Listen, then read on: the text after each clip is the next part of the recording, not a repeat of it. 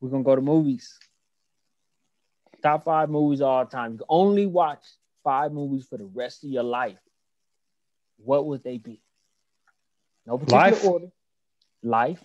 Okay. It's starring, just in case anybody's confused. With Martin Lawrence and Eddie Murphy. There we go. Okay. Now why do you why is that a top five movie for you? Gotta have a comedy. Gotta have a good comedy. It's a classic. Okay. It's a great movie with them two. And you can't you can't not laugh when you watch that movie. Because every time I watch it, I'm always laughing. Gotcha. So we got life, uh four more movies. The Bad Boys collection from one through three. Okay. we we're not gonna put bad boys Yeah. for life in there. They might that I said one through three. That's all three. Oh, okay. You're right. You're right. Okay, you're right. There you go. Yeah. Okay. Okay. That's you ain't really even gotta say nothing. If you have not watched Bad Boys, put that in there. Check it out. Classics. Classics. Straight up. Um Uh so we got three more. Three more movies. Black Panther. If you have not watched Black Panther, as soon as this A lot of people I I know a lot of people are gonna criticize the movie, but the movie was phenomenal. right, as soon as you're done Great movie to me.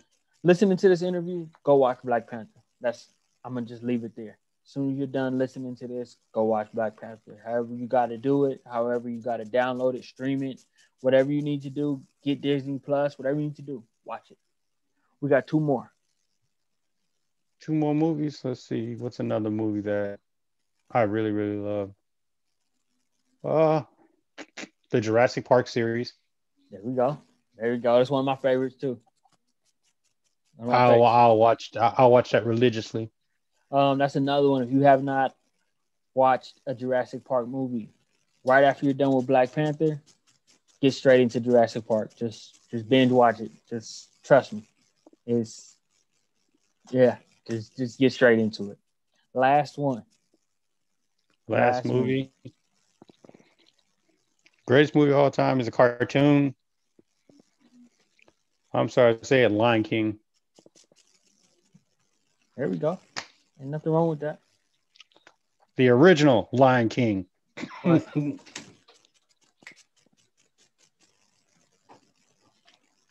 there we go. If you have not watched those um, Lion King 2, if you have not watched the original Lion King movie, it's a cartoon, but it's I don't care. Watch it. It is so about the storyline, everything about it is powerful. Um, I don't care how old you are. It is a cartoon, but you will love that movie. Like I've not met somebody that had anything bad to say about the Lion King. Watch Lion King. You will enjoy it. Now, uh, we're gonna bring things back to your childhood a little bit, but also, um, you know, it still has a lot to do with what we, you know, what we're talking about today. Mhm. Um, what are your top five cars of all time? If you had a car collection, you could say you can only have these cars for the rest of your life. What cars would it be, and you would be satisfied with them for the rest? It could be a car that came out yesterday, or it could be a car that's, um, you know what I mean, oldest like the first car ever built. Give me one second though. Let me grab this plug for this computer. One second. Okay. All right.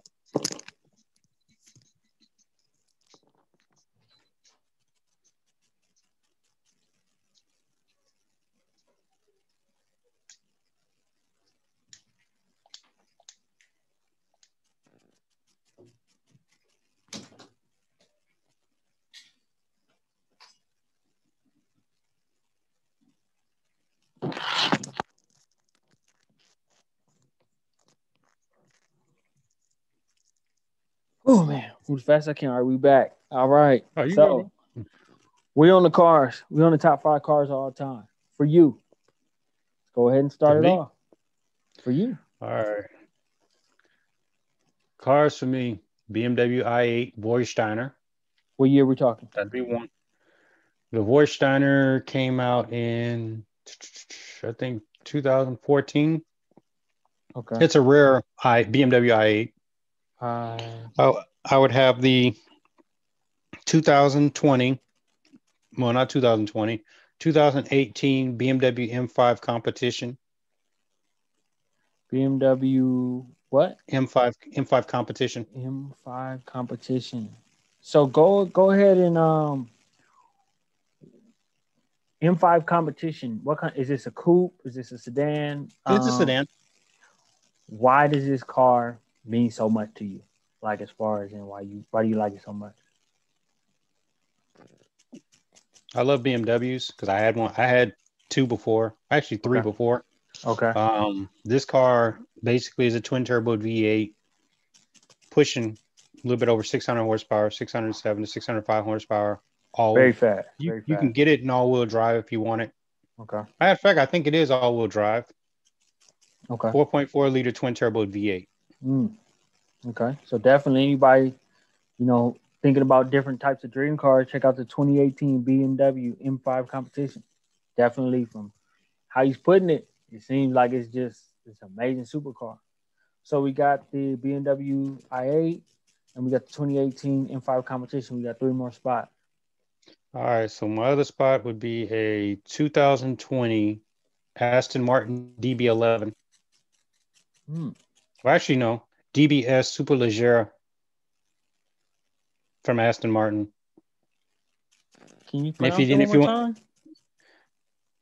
The 2020, 2020 DBS Aston Martin DBS Superleggera. Super Leggera. So tell me a little bit about the car. The Superleggera, um, this car, you ever seen James Bond, the newer James Bond? I have not. It was the car he pretty much stole in the latest movie. But it's the newer Aston Martin that was built and it's gorgeous inside and out. Okay. Um, the car is basically a newer style. I don't know. I haven't pretty much studied up the specs on it yet. But the car, I think, is a V12 or V10, Hmm. give or take, over a little bit over 600 horsepower. But For sure. it's a Okay. it's a beast. Okay. You got three more spots. Three more, two more spots. You're right. Yeah, you're absolutely right. Two more spots. Uh, I would do a fully built custom SVT Raptor. What year we talking? Uh, I would do the new one, the 2020. 2020 SVT Raptor. So why are we rolling with the Raptor? Uh, um, I need a play truck. Go. I'm just gonna put it like that. I need a play truck. I need something I could tow something with, and why not? Why not get a Raptor? Um, Yeah. the last vehicle. Let's see. I have sports car, sports car. I have two two hyper two sports cars, sports sedan, sports truck. Why not go for a regular car? Going for a car would- SUV. I'm going for a car. I'm going Okay. for the. I'm gonna go for the 2019 GSF Lexus. Ah, there we go. So why are we going with the Lexo? Car is bad. I test drove one the other day. Literally, it was blue. It had the orange colored interior inside of it. Mm. Um, 600 horsepower rear wheel drive. The guy Um, said, "Open it." The guy said, "Open it up." I opened it up and didn't want to stop. He said, "You get a ticket, you're paying for it." I said, "No, you just tell me to open it up." right. But the car is phenomenal, gorgeous inside and out. Man, for sure. You know, I appreciate you, you know, I, letting the community know about this kind of stuff. It's powerful. Yeah.